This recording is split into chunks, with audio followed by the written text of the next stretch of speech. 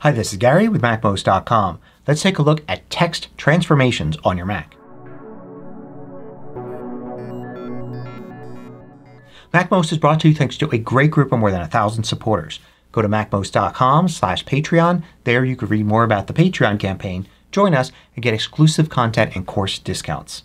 So text transformations are a feature available on your Mac just about anywhere that you edit text that allows you to convert lowercase to uppercase or do something special like capitalize each word. So to use it, basically you're in an app like TextEdit here and let's say I wanted to capitalize all of the letters. I could just select this text and then go to Edit and then Transformations. And here you'll find the three built-in transformations. Make uppercase, make lowercase, and capitalize. If I use make uppercase you can see now every letter has been transformed to uppercase. Now I'm not sure why you'd want to use that but you may actually find yourself with everything uppercase. Maybe you accidentally pressed the caps lock key and didn't notice until you were done typing the line or maybe somebody sent you some text like this and now you got to convert it. Well you can now go to Edit, Transformations and select Make Lowercase. This will lowercase every letter here. So you're going to have to go and capitalize the beginning of sentences, maybe some proper nouns and things like that. But it's far easier than actually retyping the line. Now, edit transformations capitalize will capitalize every single word. So the first letter is a capital letter and everything else is lowercase here. This could be handy for a number of reasons like making a headline or a title. But it's never going to be just right if it's going to capitalize every single word. After all, just about any headline or title I've ever seen is going to have this be lowercase right there and perhaps some other words as well. But it's much easier to actually use the capitalize transformation and then change one letter than to go over the first letter of every word and change it. So those are the three basic text transformations. But I'm going to show you in a minute how you can create your own. Before I do that though, let's take a look in Pages at an alternative to changing all the text. Suppose you have something like this and you want to have it be all capitalized. Maybe this is the title or something and you want it to appear special and in all caps.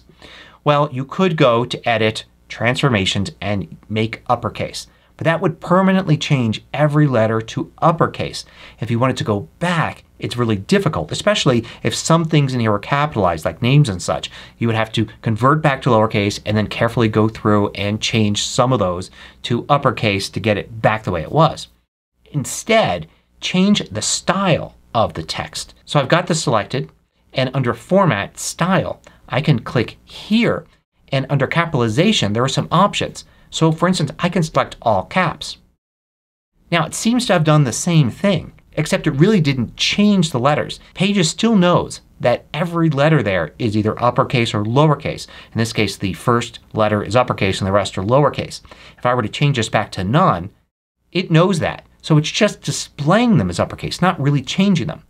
Plus you have other options here. For instance, you can do start case, which is similar to what we saw before. The first letter of every word is capitalized. But also title case, which will be smart enough to know to not capitalize the T in the second the. There's also small caps which is kind of neat because all of the lowercase letters appear as small uppercase letters. It's something that can look nice in a headline or a quote or something like that. And the great thing with all of these is you can always go back to none and it remembers exactly how you had everything before. So it's not a permanent change. More of a style change like making something bold or italic. Now what if you wanted to have more transformations? Well, there's no way to add anything to here. But you can add some custom transformations easily with the Shortcuts app. So let's run Shortcuts and I'm going to add a new one. We'll call this Text Transform.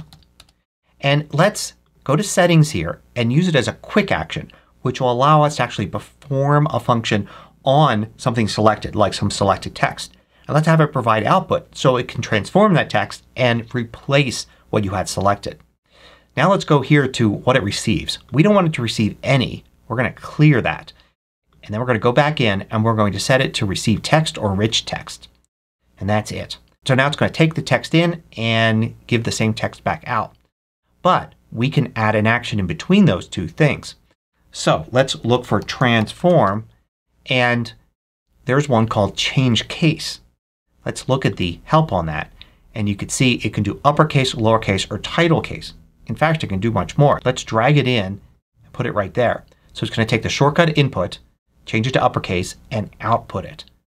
If I click on uppercase here you can see that it can do more than just uppercase and lowercase. It can also capitalize every word which we already have. These three are just like the first three in the edit menu. But we have some other things here like title case. Let's use that and test this out. Now remember I've got this set to be a quick action. So in Text Edit here I can select the text and I'll find quick actions in the services menu. Here's text transform. I'm going to use this and notice how it correctly didn't capitalize the T in the second the. So title case works a lot better.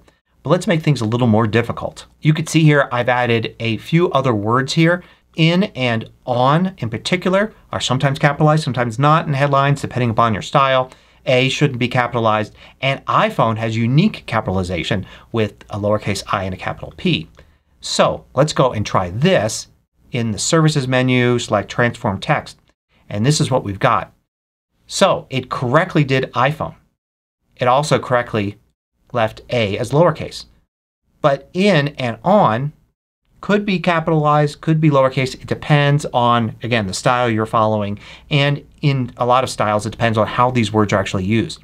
So let's go and create our own variation that will capitalize in and capitalize on and this is just an example. You may actually have other things that you may want to change about how title case works. So here in Text Transform let's look for Replace and there's Replace Text. I'm going to add that here after it capitalizes everything. And let's replace the word in with capitalized in. But we don't want it to do any time the two letters are found next to each other. So we're going to do space IN and replace that with space capital IN. More or less this should work for every time the word in appears. After all, if I and N are the first two letters of any other word it should be capitalized to begin with. It's just when it's this word that it's a problem. Let's do the same thing here with on. Space on. Replace with space capital on. So after capitalizing with title case it's then going to do something special with in and special with on. Now we can go and select this text. I'll go to the Services menu, Text Transform, and you can see now in and on are correctly capitalized. There are a couple other transformations here. You've got capitalized with sentence case which just leaves the first letter capitalized, lowercase is everything else. And then you've got the capitalized with alternating case which, which can be used for emphasis or just for fun. And of course you can do a lot more with these replacements here. In fact if you're good with regular expressions notice that the replace text function will actually take and use a regular expression. And you have other regular expression functions in shortcuts as well. So for more advanced programmers you can basically use regular expressions to create all sorts of complex transformations. Hope you found this useful. Thanks for watching. If you liked this video, click the thumbs up button below to let me know. I publish new tutorials each weekday. Hit the subscribe button so you don't miss out.